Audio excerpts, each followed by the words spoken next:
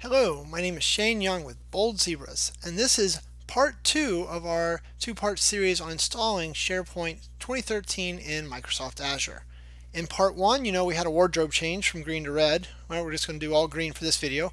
Uh, but in that video, we kind of did all the prerequisite stuff, right? We went ahead and set up the AD server, the SQL server. We got SharePoint installed, and so we installed SharePoint uh, RTM plus SharePoint Service Pack 1 plus SharePoint June 2016 Q1 of updates. We got all three of those installed so the bits are all on the server ready to go.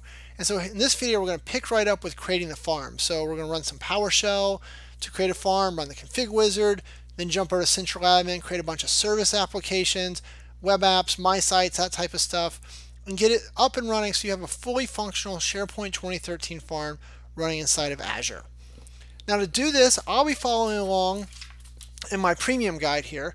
And so the premium guide, what this does is this gives you step-by-step -step instructions that you can actually follow at your own pace. So some people can watch a video and build their own production environments, and some people want to read the paper and do little check marks as they go along and build their environment. So if you're the type of person who wants paper, there it is. Um, it's available via the link that's right over there. And also with that, you'll get some PowerShell. So there's a lot of PowerShell we're going to type in here. And once again, I'm going to show it all to you in the video but there'll be PowerShell scripts that come with the premium guide. And then finally with the premium guide, you can also get consulting hours. So if you need help planning out your Azure or SharePoint environments, you just need somebody to, you know, help you out, hang out with you. You know, you need a therapist. Sometimes people just like to chill with me. Uh, that's all available via Bold Zebras. But the good news is, is everything that we're going to cover in the uh, guide is here in the video. You're going to see every step, step by step, uh, for free. So don't feel like you have to buy anything or go out to our Bold Zebra sites. It's all here in the video. Just if you're the type of person who's actually using this to build production, sometimes pen and paper is an easier way to follow along. So we've made that option available to you. Cool. This is also all based on the book that's kind of hiding down there. Uh, our SharePoint 2013 install book. We've learned a lot in the, gosh, it's been almost four years, I think, since that book came out. Um, but some of those lessons learned will be uh, available here also. All right, so I think that's a nice long intro. So let's just dive right in and start building ourselves a SharePoint 2013 farm. All right, so as we get started here, the first thing I want to do is I'm going to use the snap timer. So it's a little free utility I downloaded off the internet. And what we're going to do there is that just gives you an idea of real time how long this video is taking because I like to edit out all of the long waiting pieces, so 10, 15 seconds at a time. Also, sometimes if you watch real close, you can catch me editing out things like cough or the dog barking, but uh, that's not really the purpose. The idea, though, is just to show us how long this really takes from end to end. All right, so then up here I have um, the three VMs that I have created uh, in the previous video. So uh, they're all out on Azure. And we're going to start with the domain controller, so DC1. So I'm going to double click on him. And just like that, I'm logged into the domain controller. If you're watching the timer, you'd notice we kind of skipped ahead because I edited out the loading up to that. All right, so from here, we'll close out from the uh, domain controller.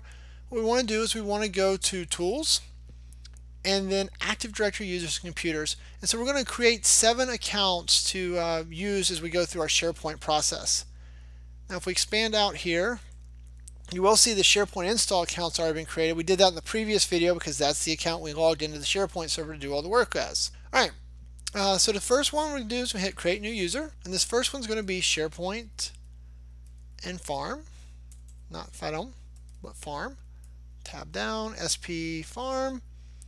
Next. And then I've got the password saved in the clipboard to avoid any issues with uh, having to type that in a million times. So next and finish. If you have the same password for all your service accounts, which is not recommended for production, um, it is a good way to speed this process up.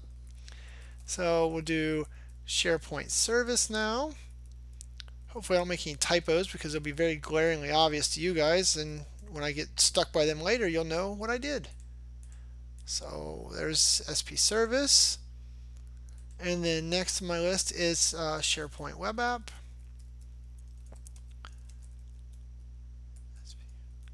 I will tell you guys I always like to do either you know services and web apps or service and web app uh, you know keep the tense the same so it's a little easier for you to remember in your farm so next and finish And then next we're going to do uh, SharePoint user profile. Also keep in mind that all of these accounts are just domain users. We're not giving them any special permissions right now. We're going to come back over here later and give uh, some special permissions, especially to this account. But um, kind of do it all in context, you know, why we're doing it. All right, so there's that one. The next one is SharePoint content. Um, if you ever wonder this account, well, I'll show you where it's used so you don't have to wonder for too long. But this is the account that we set up uh, the indexer to actually use to, when it does crawls. Boom and boom. And just two more. SharePoint. Super user. Oh, typos really bother me. They shouldn't. SP super user and just like that that one's done. And so that leaves us with super reader to go. Um, I will plug my premium guide right now because if you are a purchaser of that and this is going to be super uh, reader. If you do um, if you do use the guide you get a script that will go ahead and create all these for you. And the nice thing is it does it based on a CSV file. And so without being a CSV file what happens is if you want to add other test users, so you want to put your dog, your cat, and all those fun people in there, then that's no problem because you just edit the CSV file and then you just run it and it'll blow all these accounts in there for you. So once again, not necessary, but saves a lot of that typing because developing carpal tunnel from all this. All right, so that takes care of that. So then we'll minimize the um, AD server because that's all we need to do here for right now. And on the SQL server, uh, we normally would have to make some changes there, but we did all that in the previous video as well, right? Uh, the max ops, we set up the security, we opened up the firewall. So the SQL Server should be good, so we shouldn't need that for right now. So on the SharePoint box, we'll go ahead and log into there. All right, so it's still open from where I had all the patches um, and things done earlier, so we'll close out of that. And so now what we need to do uh, as a first step is we're actually going to create part of the farm with PowerShell. So I'm going to hit start. And right here, I've got the SharePoint 2013 management shell. So I'm going to right click on this guy. And it's very important that you do this, but you've got to run it as administrator. Now, if you don't run as administrator, things aren't going to work right. They're not going to work at all. So we'll click yes. And we're going to get a message this local farm is not accessible. This time that's okay, right? Because there is no farm. In the future, if you get that message, you probably didn't run as administrator. So I'm going to right click here. And I want to make a couple changes real quick. And so to do that, I'm going to do properties. And I'm going to enable quick edit mode. That makes cutting and pasting with PowerShell a lot easier. And then on the font, what I found is that 10 by 18 is the biggest font. And then for colors, I like screen text of this neon green. I don't know why. I have no explanation. I've just done it this way forever, so bear with me. So click OK. So hopefully that's a little bigger, a little easier for you guys to read now. And then before we jump in and start running a bunch of PowerShell, what I want to do is I want to do something called start dash transcript. And so hit enter. And so what that's going to do is it's going to write everything that we do to that text file. So all the commands we run and all the output that we see here. So this is a great tool to go back and troubleshoot with later, right? You can see what you did, what you didn't do, uh, what errors you might have gotten that you didn't see. Maybe things scrolled through the buffer too fast and you missed them. So start transcript's just a great way to start out every PowerShell session, especially when you're new and learning because a lot of times what I used to find when I was learning is I'd figure out how to do something, I'd close the PowerShell session, I'd come back and I'd be like, man, how did I do that yesterday? And I have to kind of relearn. So use start transcript uh, as often as you can. All right, so I'm going to type in CLS here just to clear the screen off so we're working from a clean screen. And so we want to create our farm. So we're going to do new SP configuration database. And I'm using tab complete. You're going to use tab complete a lot to save yourself some typing. I'm going to do dash D for database name. And for that, I'm going to name it SharePoint underscore config underscore config. Then space, and then D again, and that's times database server. And so our database server is named SQL1. And then administration content database name. So this is the whole reason you actually did this. And so that is because you want to be able to name this database something reasonable. And so we're going to name it admin content DB. Uh, If you don't run this, if you just go straight to the config wizard, what happens is that database gets created and its name's about yay long. No one likes that. So we're going to hit enter.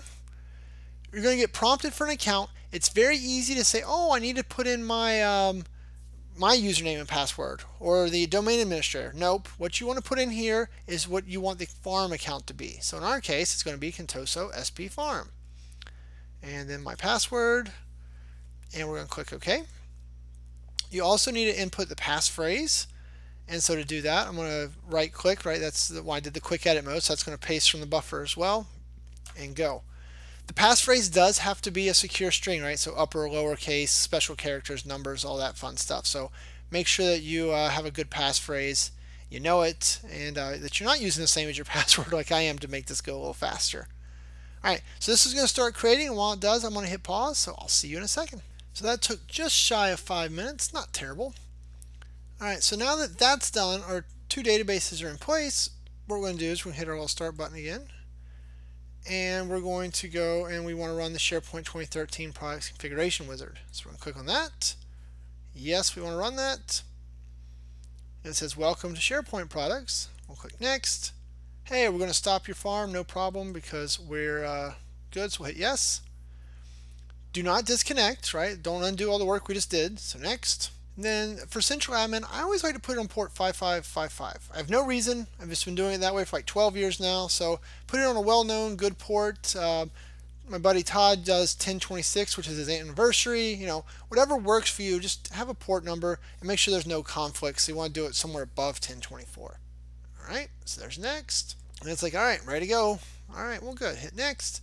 And notice here it jumps straight to step four and then to five. So the reason for that is because the other steps we just did with PowerShell. Technically, we could have done all of these steps with PowerShell, but remember the whole my wrist hurts. I don't want to type too much.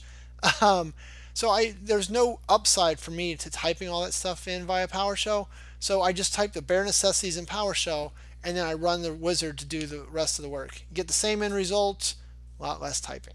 So once again, I'll hit pause while this runs, and I'll see you in a second. All right, well, good news for me. SharePoint's feeling pretty peppy. That went quick. So we're going to click Finish. And so now Central Admin's going to open for us. And so here it says, hey, do you want to sign up for customer improvement? Of course I do. Yes. Say OK. And we'll expand this out so it takes up the whole place because we're going to spend a lot of time there. So get some room. And so what are we going to do? How do you want to configure your SharePoint farm? Well, this is what we used to refer to as the White Wizard. Who made up that name? This guy. Had I just seen Lord of the Rings recently? I had the Gray Wizard, Config Wizard, the White Wizard, and Central Admin maybe. Nerd humor, gotta love it. Um, so you could run the white wizard here, and what it would do is it would create all the service applications for you and really take away the need to watch this video. The downside of it is it does a lot of wonky stuff It's probably not really scalable for production, and the database names are this big and nasty, and your DBAs will hate you. So in the interest of keeping everyone happy, you know, me, because I want you to watch the video, and your DBAs because they don't like database names and your users because they want functionality, we're going to cancel out of this. And so now that we're at the home of Central Admin, what we're going to do is we're going to go over here to Manage uh, Service Applications. We're going to spend a lot of time here. Most of the next uh, whatever amount of time we're going to spend together, actually. And so here you can see there's two service apps. There's a new button. Lots of fun stuff to be had here. But unfortunately, the new button doesn't have everything we want. So there's two service apps that we need to create manually via PowerShell before we can continue on. So we're going to switch back over to PowerShell. And we'll do our friend CLS again to clear the screen. So we're starting from afresh. And so the first one, lots of typing coming, is it's going to be to create the state service. What we're going to do is we're going to do a new SP state service application and dash name, right? Lots of tab completes, and then quotes.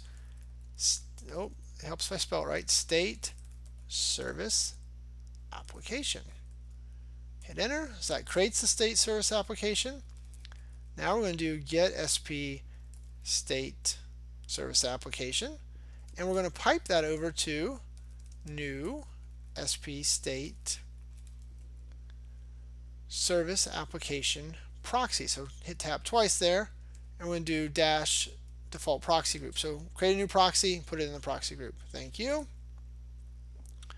Then we're going to do the same type of thing again, get SP state service application, pipe it over, and we're going to do new sp state service. Hit tab twice that time. Database and then dash name. We're going to do state service db and then dash database server is our friend SQL1 we'll capitalize that. It looks better. Just like that. It doesn't matter. You don't have to capitalize it. Alright last one. A little more. Get sp oh, sp database. And we're going to pipe that over to where dash object object easy for me to spell. And what we're going to do is we're going to put that in little parentheses and then we're going to do dollar sign underscore dot type dash eq which means equal but don't do an equal sign. That does bad things. Yeah, rename all your databases to be quite honest. Microsoft dot office dot server dot administration dot state. You gotta spell it right. State database close the quotes close the bracket and then one more time pipe to initialize initialize SP state service database. Oh hands hurt but now we have a state service right? If we switch back over here and hit refresh boom state service created now. You know I'm not saying but if you did the premium guide you just type in like three characters and that was all done for you. It's amazing. Alright so we're going to clear the screen again. And so the other service application that we need to create is the uh, usage and health database uh, or service application. So it's a little easier a little less typing. So we're going to do is a new dash sp uh, usage application. Then we'll tab complete. Dash name usage and health. Wish I wasn't uh, obsessed with getting the uh, punctuation right. Data collection. So boom just like that. That makes our new usage application after a few seconds. Okay, that finished. And so now we want to do dollar sign proxy equals get SP service application. Tab a few times proxy. And then what we're going to do is we're going to say where another one those weird statements coming. That weird bracket dollar sign underscore dot type name this time, so not type, but type name this time, dash EQ for equals, usage and health data collection. Proxy, close that, close that, hit enter, and then dollar sign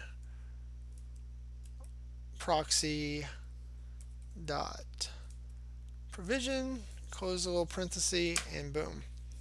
Alright, so a little bit of typing there, a little funky. We won't get into the pros and cons of how we did all that, but it does provision the service app for us. If we go over here and hit refresh, boom. It's also, I apologize, it's probably painful listening to me type out those commands because I have to, you know, kind of enunciate and go as I do, but if you're only listening, it probably works out well. So, yeah, what do you do? Either way, that gets our two uh, service applications taken care of for us. So now what we need to do is we need to go and create the rest of them. But before we do that, to save ourselves a little grief, we're going to actually make a, another change real quick. And so we're going to go over to security. It turns out order with this stuff is the key to everything. And what we want to do is we want to configure managed accounts. So managed accounts is where SharePoint stores one instance of the account with a username and password and it can manage it. So change the password, um, you know, change it so you don't know it, keep it updated with schedule, things like that. All that's done via managed accounts in one place, and then we're just going to reference this managed account in other places. It's kind of cool. So it already set up SP Farm for us, but now we're going to click on Register Managed Account. We need to register two more accounts. The first account we're going to register is going to be Contoso SP underscore service. And then there's our password. We'll leave everything else alone. Say OK. Boom, that's registered. And so now we'll register the other one is Contoso SP web app And then there's our password for that. And we'll click OK. All right, so now we have our two managed accounts, well, three counting farm, but we put in two.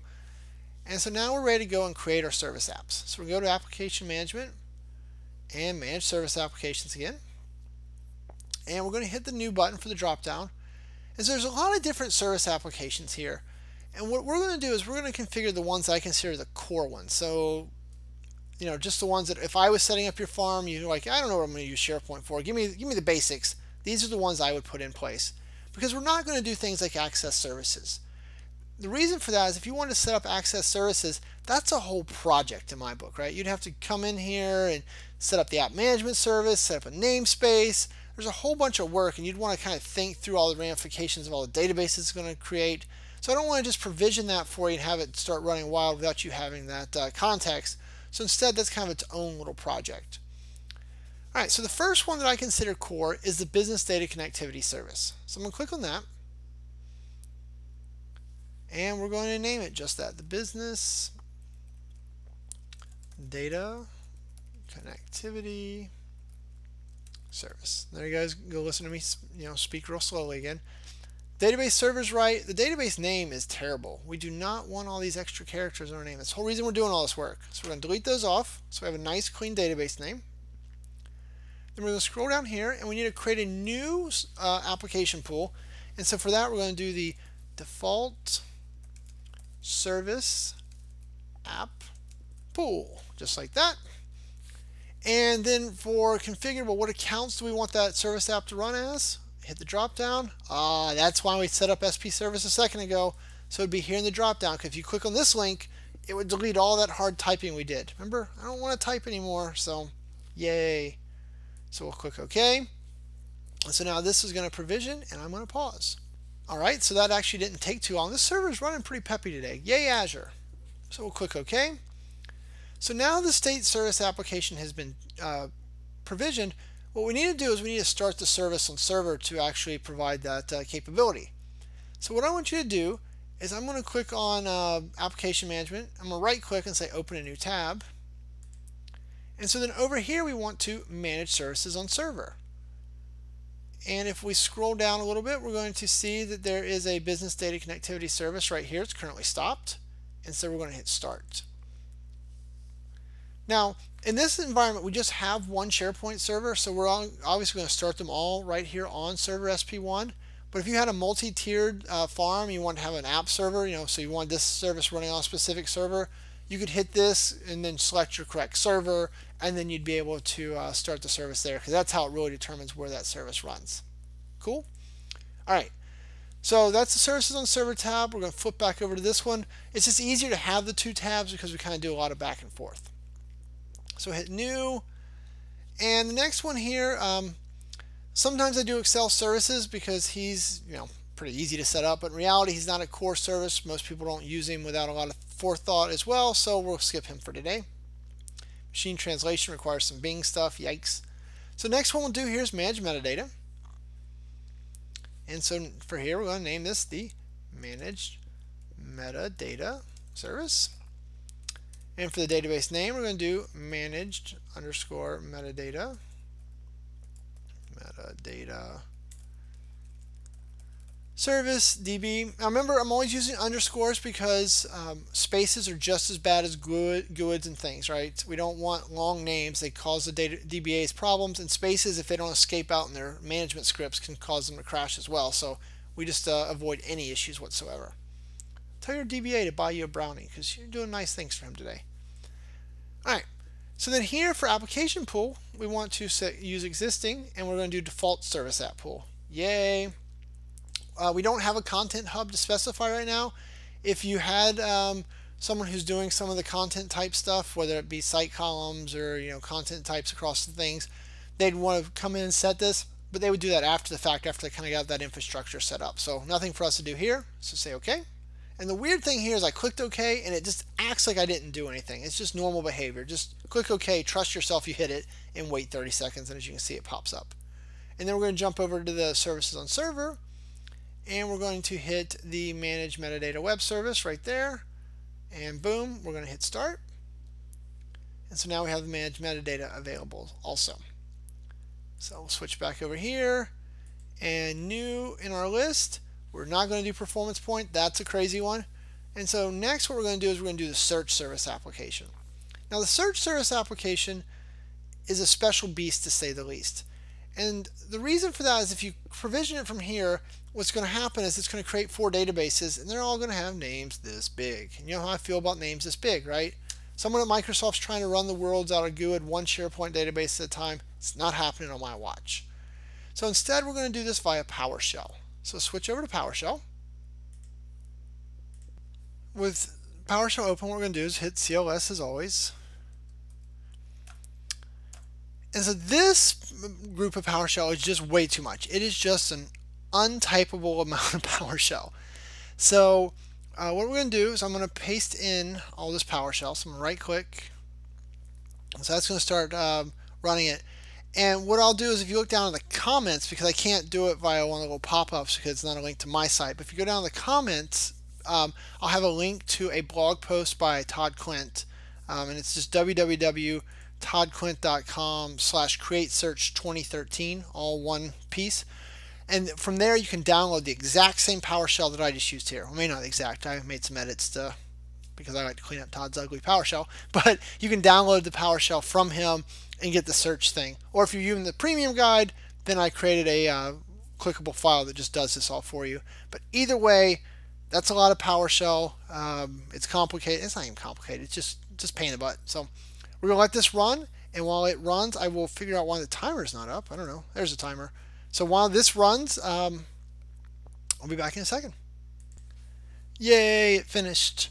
All those compliments I gave about running really fast earlier seem to not hold true for the search portion, but what do you do? All right, so that's done. So what we'll do is we'll go over here and we'll hit refresh, and we should see that our search service application is here.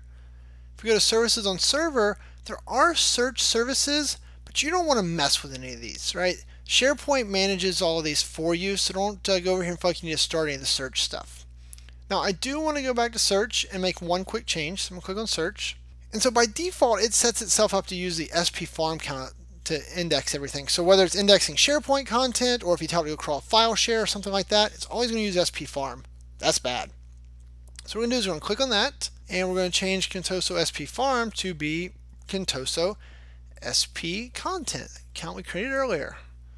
We will grab the password from down yonder because I don't want to type it in. And then we'll scroll down and click OK. So then now it's going to use that account going forward to index all your content. So if you're troubleshooting why can't search get to something, it's that account you need to worry about, not farm, not the service app account, any of that stuff. Got it? All right. So back over to Central Admin and manage service applications. It's like the only page we go to. We're going to click new and on the drop down here the next up is a secure store. This is a pretty easy one for you. So name's going to be secure store service. Oh, there's another terrible GUID, right? Microsoft just trying to use them all up. Delete it out. Good clean database name.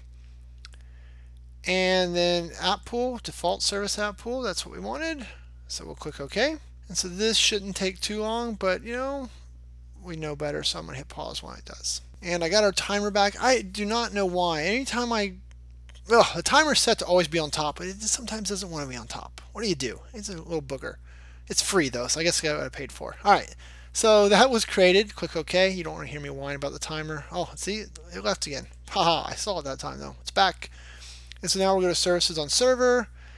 And for the secure store service right here, we're going to scroll up. Um, and actually, we might have to slide me over. So if I slide over right now, you know why, but we hit start. All right, so that gets the secure store started. So we'll switch back over to manage service apps. And here there's one change we want to make also. So we'll click on the service app and say, hey, before creating a new one, you know, uh, you got to generate a key, which we're going to do. Also, we're getting a warning message about autocomplete. I don't know why, so just say no to that. So generate new key. One of my pet peeves in SharePoint, you know the difference between pass space phrases and the pass phrase all one word we did earlier? It's the space. I do not know why they choose to spell it one way here and one way the other. It's just to drive me nuts. But we've covered that. There's one more thing that's coming up like this. Anyway, click OK. All right, so now the secure store is all set up. And we'll go back over to Central Admin and Manage Service Applications and New. And so next up on our list is the User Profile Service app. Oh, this is like the hardest part of all of SharePoint 2013. And in order to uh, do this, the first step actually is we're going to jump back over to the AD server. So we'll minimize this guy. And here's our AD server. Hey, it was still up. Nice. And the timer stayed up. Good job, timer. All right, so a couple things we need to do here. Several, actually. Uh, three. All right, so the first one we're going to do is we're going to go into Tools, and we're going to click on DNS we need to make uh, two DNS entries, one for the My Site host site collection and one for a portal. And so to do that, we're going to click on DC1 and forward lookup zone and contoso.com, just like that. And then we're going to right click on contoso.com and say new host. And we're going to say my, and we're going to give it the IP address of 10.0.0.6. That is the IP address of our SharePoint server. Say add host. It was successful, good. And so we're going to do the same thing for portal 10.0.0.6. Add host, okay, and done. So you want to double check and make sure you got that right. So here's my SP1 server, it's 10.0.0.6, so that's what these two need to be. So if yours are different, because it could be depending on how many VMs you have, what other shenanigans you might have pulled to this point, make sure those are correct. Um, also, you know, when using dynamic IP addresses, we know that Azure is going to try to keep those same IPs for those same servers. But if you are in an environment where your IPs change a lot for your servers, it'd be weird, but it could happen, you might want to consider using CNAME records and just pointing these two at that server. The downside of CNAME records is if you do anything authentication stuff like Kerberos especially, they just don't work with CNAMEs. CNAMEs cause a lot of issues, so don't use them unless you have to, but if you do, you do. All right. So that gets our DNS entries fixed. So that was the first step. All right, so then the next step is we need to set up the user profile account to do some special things for us. So we're going to open up uh, our friend Active Directory users and computers again. And we need to make, we're going to make three changes here. So the first change, just for this, is we're going to go over here to contoso.com. We're going to right click and we're going to say delegate control. Next add a user, and we're going to do our friend SP user profile. Click OK. Hit next, and we're going to say create a custom task to delegate. So next. And this folder existing, yep, so next. And then here what you need to do is you need to scroll down just a little bit and you need to find replicating directory changes. If you have a different version of AD, it could say replicating directory change. Either way, you need to select that box and say next and finish. So what that's going to do is that's going to allow uh, the user profile account to interact with a change log for AD. It's not going to let it edit AD, it's not going to let it do any chain modifications or anything bad. It's just letting it read the change log. So that way when it does an import, it's just importing the changes instead of having to import everything. So it's lowering the load on the AD server. When you ask your Active Directory admins to make this change, they're probably going to freak out. You're just going to have to coax them through it because it's absolutely required. Now, brief pause there because I needed a drink of water. Uh, so the next step here is we're going to go over here to this built-in group and we expand this out a little bit. There is a pre-Windows 2000 compatibility access. Double click on that guy. Members, add, SP user profile. Click OK, OK. Now in reality, this is only required if you have an older version of Active Directory with some weird settings and stuff. But what I found is A, most people don't really know what their Active Directory settings are, so they don't know if they meet that criteria or not. And B, starting the user profile sync service is hard and making that change is easy. So I just like to do it pretty much 100% of the time. So for what it's worth, I always make that change as well. The third change is a little scary, not going to lie. We're going to hit start and we're going to type in ADSI. It's going to open up a tool called ADSI Edit. We're going to right click on this and say connect to, and we're going to change default naming context to configuration and click OK. So if you're not familiar with ADSI Edit, the best way that I can describe it for you is it's like regedit for your entire Active Directory. You can do really terrible things in here. So you need to be very careful. If you just do the couple steps I'm going to show you and get out of here as fast as possible, you'll be in good shape. Don't go exploring, don't go playing with this guy.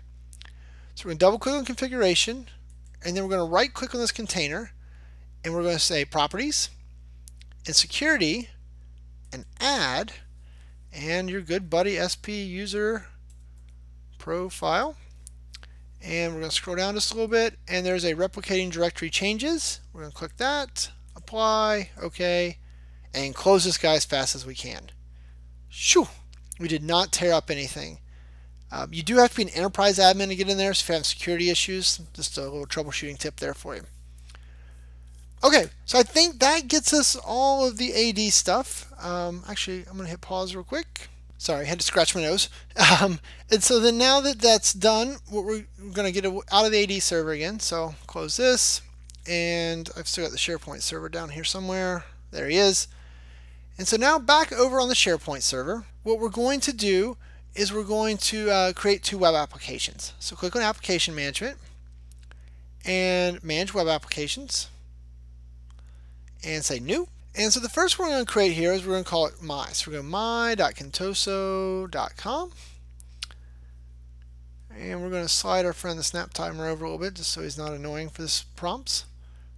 And then we're going to scroll down. So that's all looks good, good, good, good, good, good. And so here we're going to say create a new app pool. And I like to call this something like, um, you know, my SharePoint content app pool. And then for the service account, this time we want to choose SP Web App. All right, so that looks good to me. And then for the database name, I'm going to name this WSS underscore content underscore my. I try and keep my database names correlated to the host header that I'm using for the web app. It just makes it a little easier when the data, DBA calls me up and says, hey, this database is 4,000 gigs. Why is that? And when he gives me the name, if he says slash my, I know, well, my sites are 4,000 gigs, whatever 4,000 gigs is. I think it's called 4 terabytes, but you get the point. So make those names easy to correlate. So scroll down, this all is fine. So we'll click OK, and we'll hit pause when this happens. Thanks to the magic of pause, that's all done. So you can see that looks good. Boom, boom, boom, boom, boom. So we'll click OK. Oh, and their timer just disappears for no reason. I was about to compliment him on not disappearing, and then he does goes and runs away. So then now we want to do the same exact steps, or roughly the same steps, but for our portal web app. Not because we need it at this point, just because I figured if we're here, we might as well go ahead and create it. So we'll do port. We got to fix that and make that 80, and this will be portal.contoso.com. Scroll down a little bit. And so this time we want to use existing app pool and there's our SharePoint content app pool. And then we want to change the database name to WSS underscore content underscore portal. Just like that. And we'll say OK. All right, and that one created just a little bit faster, so I appreciate that. We'll click OK. All right, so we have our two web apps. So now back to application management, and we need to create site collections. I would point out that we're only going to create one at a time, yet that command is plural, should say create site collection. Once again, me and SharePoint, not friends all the time. So for title here, we're going to do my site host. And then we're going to click on enterprise and my site host template. So that's going to be the root of the my sites uh, for your environment. For the primary site collection administrator, I'm going to do SP install because that's who I'm installed here or logged in as. In your production environment, you'd want to think through a little better who this is. And then I also need to have a secondary one. I always recommend everyone has a secondary one. It just keeps you out of trouble. I've seen issues before. People only had one. That account got deleted. SharePoint got really mad. So avoid that. So then we will slide me over here real quick and say OK. All right, now that that's finished, we'll click OK again. And I want to create site collections. I'm going to go ahead and put one at the root of the portal as well. So for web app, we're going to hit the drop down here, change web app, and we're going to select portal. I'm going to say our portal. And then I'll just use a team site. I don't really care what it is. And then for the username, once again, I'm going to use SP install. In as. And good old Contoso Shane, because that's convenient. Um, also, quotas. I'll hit OK and talk about quotas for a second.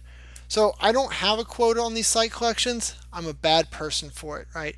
I'm a firm believer that every site collection in the world should have a quota. So do as I say, not as I do. Um, quotas just keep you out of trouble. You know, even if you're like, well, my portal, I don't want to limit what can go out there. I want it to be able to get as big as it needs. Well, how big is that? Oh, that's probably 10 gigs. Set the quota to 50 gigs. I don't care. As long as it's at a spot that is manageable, if it somehow, some way grows that big, because if you bounce up against that 50 gig quota, you'd be like, oh, well, that was really bad.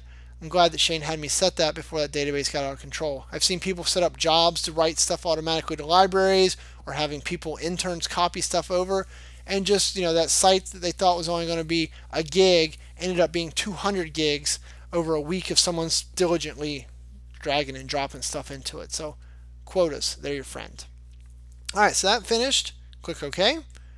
We're so close, folks, to being able to create the user profile service app. So close. One more thing. I think. Let's start. And what I need to do, we talked about it earlier, we're going to run our friend regedit. There he is. And click yes.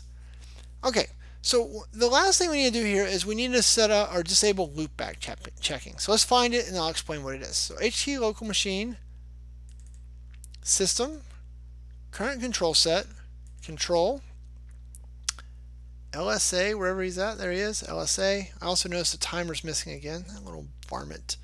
LSA. All right, so in this LA, LSA folder, what we want to do is we want to right click and do a new D word. We're going to do disable loop loop back check. And then we're going to edit it and we're going to change it from 0 to 1. So I'll just expand that out so you can see it. And we'll move the timer over so you can see the path. All right, so the idea of the loopback check is that it's a security mechanism that got put into Windows, I don't know, 10, yeah, we'll say about 10 years ago. And what it does is it says, you know, if you're trying to access this server, so you're on the SharePoint server, and you're trying to access a resource on the SharePoint server, and you're calling it by a name other than itself, you're probably trying to do something bad. So if you're on the SharePoint server and you type in my.contoso.com and you try to go, and that's being hosted on the same machine, it knows that this server's name is not my. So it's like, what is this guy up to? Why is he a bad person? And it will just block the access. Great security mechanism, but it really breaks things like search indexing and troubleshooting from the local search or the SharePoint server's desktop. So that's called the loopback check. So one method, one we just employed here, is to disable that loopback check altogether. Turn off that security feature. It's very effective. it's uh, but it's also very bad because it makes it so that that hack is now uh, able to be exploited on your machine. So down below, I will link to the KB article. There's a second method where you can come in here and you can specify just disable loopback check for my.contoso.com and portal.contoso.com. Now you're saying, well, why don't I just show you that method? The reason I don't show you that method, hmm, I knew you'd ask, is um, it's all about maintenance, quite frankly.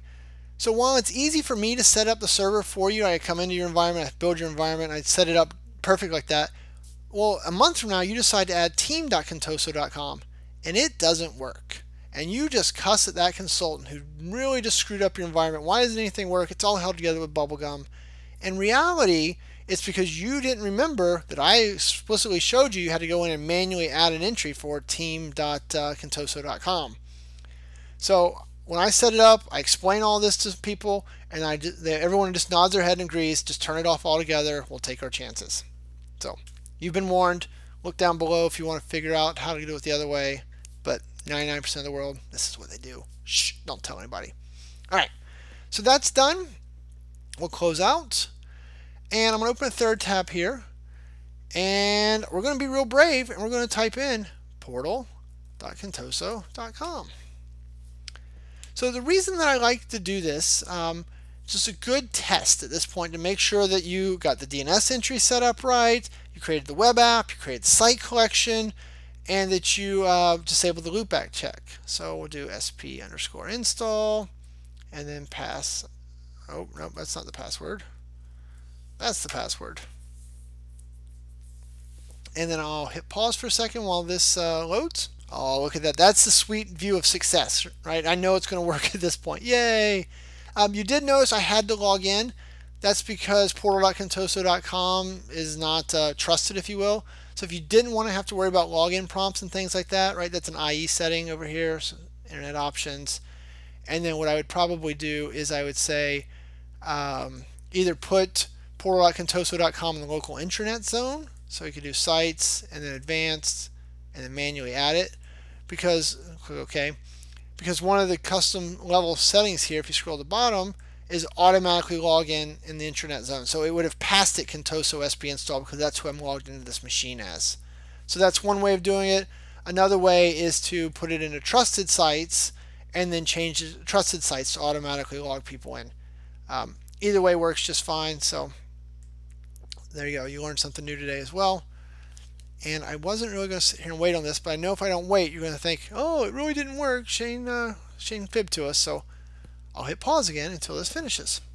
All right, so there's a minute of my life I'm not going to get back, but it proves to you everything works. Woohoo! Um, sometimes if it's working like it keeps spinning forever, just hit refresh. Sometimes speeds it along. So, all right. I think we've done it, guys. We're ready to go over back to application management, managed service applications, new user profile service application. Oh, I'm so stressed right now because this is the scariest part of this whole video. So name, user profile service. We're going to use the existing app pool. Scroll down a little bit. And so here, um, what I like to do with the database names, because they have spaces, so you got to fix them. So I'm going to do user underscore profile underscore DB. And the idea is I, there's four databases, three databases, I forget, I think there's four. Uh, four databases here, and so we want them all to start with user, so that way they're grouped together in a SQL, right? Back to that whole, the DBA is yelling at me, I like to make my life as easy as possible. So then we're going to change this one to the user sync DB. And then we're going to change this one to the user social DB. Fun fact, in 2016 they uh, take away the ability to do this. You have to do it in PowerShell because they don't let me name the databases anymore. Very annoying. Oh, and it was only three databases. All right. So here, uh, my site host URL, well, that's the guy we just built, right? W or HTTP my.contoso.com. So, boom. We'll host those in the personal. I like to use this setting right here. Uh, this, this, says, because it automatically creates my sites when a user goes to it for the first time. Well, this will just take care of resolving any conflicts. So the first person to come in will be slash Shane. If another Shane comes in, it'll be like, oh, well, that's um, Contoso underscore Shane. So it kind of deals with that for you. It cuts down on support calls later, so set that one. And then they're offering to let me use Yammer. Eh, I'll stick with on-prem for right now. So we'll click create. All right, so fortunately that's not the nerve-wracking part, so that works. Took a minute or whatever, so we'll click OK. And so now we need to go over to services on server. And if I haven't already slid myself over, I'm definitely going to slide myself over now so you can see. And so right there, we're going to click on um, Start for the user profile service. This one is also not a high stress one. You can see user profile service, it started no problem. stress time. So the user profile synchronization service, we're going to hit start. And when we get here, it's going to say, look, um, I'm going to start this one as the SP farm. Well, that's kind of annoying, but it is what it is. Uh, so it wants to start the service as that account. Well, that account has to be a local administrator for all this to work. SP Farm is currently not a local administrator. So now we need to go through this whole process. So we're going to go back over to Friend Server Manager and we're going to go to tools and computer management and expand out local users and groups groups and administrators. Quick add now you're probably thinking why didn't we just do this a long time ago when we were in here the last time? Could have. The problem is I like to do everything with context and so it wouldn't have made sense why I was doing it uh, you know an hour ago in video time. So I like to do it now but it does cause a little pain so say OK. So SP Farm is now in there, but unfortunately SP Farm, because it's already logged in and running other services, it's not going to pick up its change short of a reboot. Oh, so we're going to go ahead and shut this VM down. So we'll click over here to get the charms to appear. There they are. Settings, power, 2012 R2, so much better. And say restart. Continue. Alright, so while that restarts, I'll hit pause and I will bring you back when I'm logged into the desktop and I have central administration open. That way you don't have to wait on any of that stuff. So see you in a sec. Alright, so now we're up. I got the timer back running. I got a cute little green bar saying, hey, get this stuff from Office 365. That's for another video. Uh, so we're going to go back to our managed services on server. And now it's time to put on my brave face. So here's the user profile synchronization service. We're going to hit start. It wants to know what my username and password, or my password is, because it already knows my username. It's telling me I have to use that one. And we're going to click OK. So this is going to start um, firing. And I'm going to hit pause and be real nervous. So hopefully I come back happy. Success! Oh my goodness, it started. You can tell how beaten and battered I've been by this process that even in a controlled environment like this where there's no chance it's going to fail, I'm still freaked out for the couple minutes it takes to start it. In case you're wondering what happened over here in the background is actually if you look at Windows services, it's went ahead and configured these two forefront identity management services to run as SP Farm and so then it fired them up and started them. Um, so that was the reason that SP Farm had to be a local administrator. Now, in reality, what you could do is you could actually uh, take SP Farm out of the local administrators group. You just need to make sure that it had like log on locally and run as a service um, set. So make sure there's no group policies or anything like that or overrunning it. But the problem becomes is if anything gets reset and someone has to start or stop the service again, you know, maintenance, service packs, that type of thing. It's real easy for this all to get broken again if you not to remember you had to make it a local admin to fix it all. So once again, not best practice, but I can tell you that most of my customers just leave SP Farm in the local administrator group. Terrible idea. Lazy admins do it a lot. And I'm one of them. Shh. All right. Anyway, that is started. Oh, happy day. So here to go over here to application management and managed service applications and user profile service. Yeah, because we can do that now. And what we want to do is we want to configure a synchronization connection, right? Because currently the number of user profiles is one. There's more than one person in my AD. Oh, that's the wrong button. So configure synchronization connections. I'm going to say create a new connection. And we're just going to call it, I don't know, AD. Our forest name is contoso.com. And then the account name so this is where you guys need to take advantage of our Frank Contoso SP underscore user profile and then his silly password. Right, because that's the account that we gave all the permissions. So SP Farm's running the service, but when it goes to talk to AD, that's the account it's going to use. And so we hit populate containers. If that shows up, you're, you're moving in the right direction. And so now you can expand and select what you want to do. I'm just going to pull in all of the users um, container. So that all looks good. So we'll go to the bottom and say OK. All right, so that's good. Another annoyance of SharePoint. I complain a lot. I don't. I do, don't I? Click on Application Management. There's no way to get back to the User Profile Service from here. So go to Application Management, Manage Service Applications, and User Profile Service again. Ugh. So now we want to do, right, we're still at 1 because we just set up a connection. So now we actually actually run a sync. So we're going to say Start Profile Synchronization and do a full sync right now. And then what I'll often do is just sit here and hit refresh until over on the uh, right, you'll see it switch from idle to, there we go, synchronizing. So now we know things are happening. And so we'll do a lot of refreshing here. And bammo whammo, you just have to hit pause and it gets done. And so now I have 12 profiles that have been imported. So we should be in good shape. User profile services are working. Yay! All right. Um, so that gets us all of that. We'll go back to the home page of Central Admin. All right, so the next thing we need to do is we need to give, oh, we lost our timer again. Come back to your timer.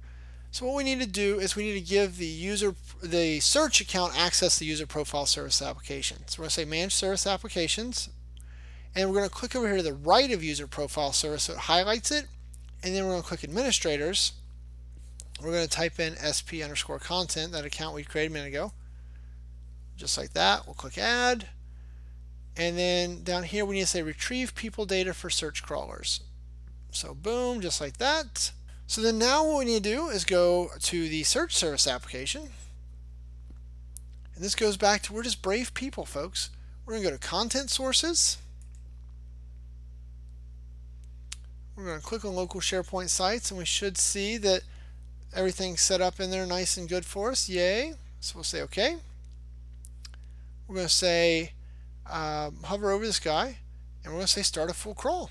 Are you sure you want to start a full crawl? Of course I am. So then that's going to start and while that runs I'll hit pause. Alright so that finished up and I as soon as I hit start I realized I made a boo-boo. Uh, so if we click on crawl log you'll see that everything was successful. There's two warnings. They're both janky warnings we don't care about. But back under content sources the thing that I need to do is click on that and we actually need to add one here and we need to add sps3 colon whack whack my contoso.com. And so that is how it would index the uh, user profiles. So people search wouldn't work until I did that setting. So that was a, a boo-boo on my part. So say OK, and we will run another full crawl, and we'll just kind of carry on. But that was uh, something I should have done. So anyway, click OK. And so now what I want to do is I want to go back to central admin while that runs. And the very last piece of uh, cleanup maintenance, oh, we're so close to done. Hopefully this video is going to be right under an hour. Um, is we need to go in and manage web apps. And we're going to click on portal. And what we want to do is remember we created the super user and super reader accounts. Well, what will happen is SharePoint will give you error messages about not being able to cache properly because you don't have those set up. So what we want to do is we want to set those up real quick. So we're going to do is user policy and we're going to add a user next and we're going to do sp super user we're going to give him full control say finish and then we're going to add another user. Next. Sp super reader. And give it full read. How'd you ever guess? Alright, so that gets those two accounts set up, and you can see the spacing I missed. How rude of me. Uh, but so those are defined, and so that now that those are defined, we need to open up our friend PowerShell again. So start, I said start, SharePoint 2013 Management Shell, right? We're going to right click, and we're going to say run as administrator, yes. We're going to click on it. We're going to do start dash transcript because you should always do that. We'll clear the screen. And so what we want to do is we're going to dollar sign variable, I don't know, whatever you want to name it, equals get sp web application and then http portal dot dot com. Boom. And then we're going to say dollar sign variable or var dot been easier to type properties. And we're going to do a bracket so a different funny looking character. I'm going to say portal super user account close that hit that equals Contoso SP super user just like that Of course, it would help if you put Contoso in quotes. There you go. Caught a typo. I probably won't edit that one out. Boom. And then now we're going to do the same exact thing uh, except for Super Reader. So properties. And this is the whole reason I'm a big fan of the uh, uh, premium guide because then you just get some wonderful PowerShell uh, that you're just going to run and make this all go away super reader account instead of having to type. And if you all just buy it, then you wouldn't even have to see a video of me typing. Alright, so equals like that, and then Contoso SP super reader close that and then dollar sign variable dot update like that. Boom. Those settings are done, so now you won't have to get any error, or error messages, warning messages. You hadn't set those up. Not really anything that was too big of a deal, but it's easier just to knock it out. All right, so we'll close out of that, exit. Um, you'd also, you sorry, you'd want to repeat all those steps for my. You do not want to watch me type all that again, I'm certain. So do both the user policy changes here and then go to the PowerShell again for my uh, and the nature of being complete. And I think the last thing I just want to go to application management, manage service applications, and the search service application. Where is he? Right there. Content sources. Well, that's already done. We know. So crawl log. Oh, look at that. So last time we had 36 successes. Now we have 80 because all that people data got in there. So success. And ladies and gentlemen, I hate to be the bearer of bad news, but I think our time together is done. Your SharePoint 2013 farm running on Microsoft Azure is up and available, and life is perfect for you. Um, so, hopefully, you enjoyed the video. Be sure to check out my other resources. Boom, right there. Or the premium guide. Boom, also right there.